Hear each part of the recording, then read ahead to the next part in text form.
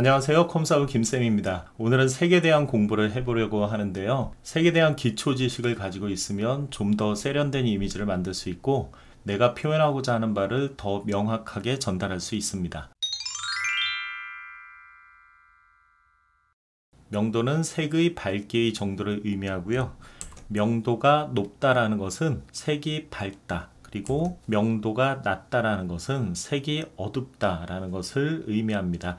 명도는 일반적으로 총 11단계로 표현을 하는데 좌측에 있는 흰색이 명도가 가장 높고 오른쪽 끝에 있는 검정색이 명도가 가장 낮습니다. 흰색을 클릭하고 값을 살펴보면 red, green, blue 값이 각각 255고요. 그 아래쪽을 보면 F 6개로 표현이 되어 있습니다. HTML 코드를 입력할 때 이 값을 입력하면 흰색으로 표현이 돼요. 자, 가장 마지막에 있는 검정색을 살펴보면 얘네 RGB 값이 각각 0이고요. HTML 태그도 0이 6개로 표현되고 있습니다. 중간에 있는 나머지 회색 계열들은 왼쪽으로 갈수록 수치가 점점 높아져요.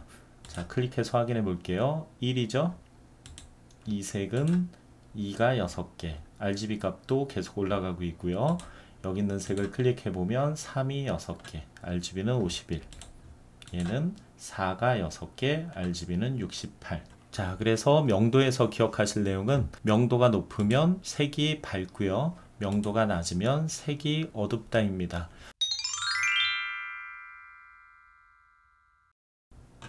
채도는 색의 선명도, 탁하고 맑은 정도를 의미하는 단어고요.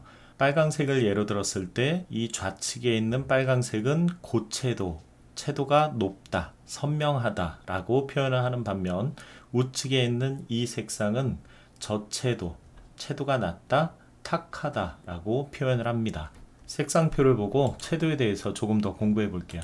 얘를 클릭하고 나서 보면 여기 이런 색상들이 있죠. 연두색 계열의 경우에 여기 있는 이 색상은 채도가 높다 또는 고채도다, 선명하다.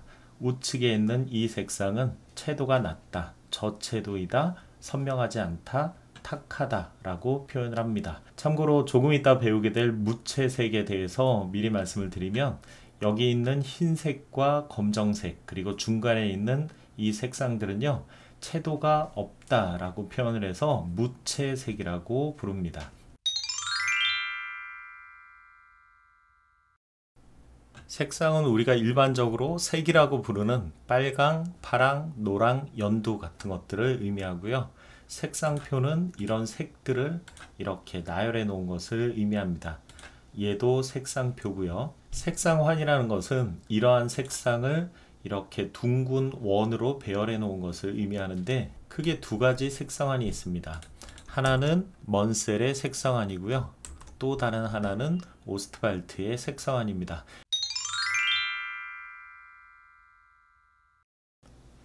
색상 안에서 이렇게 서로 마주보고 있는 색 예를 들어서 파랑을 기준으로 했을 때 파랑과 마주보고 있는 주황색 이 두 가지 색은 서로 보색 관계에 있다라고 표현을 합니다. 또 파랑을 기준으로 해서 파랑 옆에 있는 남색과 청록색은 유사색이라고 표현을 하고요. 마찬가지로 주황을 기준으로 왼쪽에 있는 빨강색과 노란색도 유사색이라고 표현을 합니다. 마지막으로 반대색은요. 파랑색을 기준으로 봤을 때 보색 관계에 있는 주황 양 옆에 있는 색 빨강과 노란색을 의미하는데요. 파랑을 기준으로 보면 주황 옆에 있는 빨강과 노란색이 반대색이고 빨강색을 기준으로 봤을 때는 청록색 좌측과 우측에 있는 파랑과 녹색이 반대색입니다. 마지막으로 대비라는 단어의 의미는 키 큰 사람이 키 작은 사람 옆에 있으면 원래 키보다 더 커 보이는 현상을 생각하시면 되는데요. 이 색상 안에서 서로 보색 관계에 있는 파랑과 주황은요 대비가 가장 심하다고 생각하시면 돼요 마찬가지로 빨강과 아래쪽에 있는 청록색은 가장 대비가 심한 색이기 때문에 두 가지 색을 섞었었을 때 사람들의 시선을 확 잡아끌 수 있는 거예요 그래서 이 색상환에서 가장 중요한 것 한 가지만 꼽으라면 바로 이 보색과 대비를 들 수가 있습니다. 자, 대비를 실제로 한번 보여드릴게요.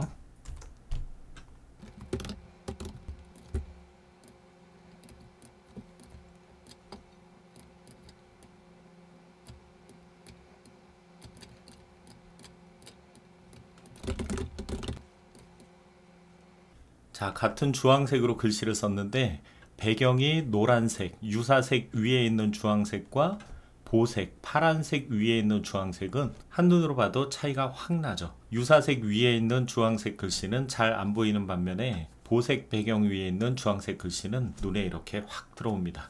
우리가 다음 회차에 글씨 잘 보이게 하기라는 주제로 공부를 할 건데요. 그때 외곽선과 그림자 그리고 배경을 집어넣을 때 이 보색 관계를 잘 이용해서 색상을 선택을 하시면 글씨를 좀 더 명확하게 잘 보이게 표현할 수가 있습니다.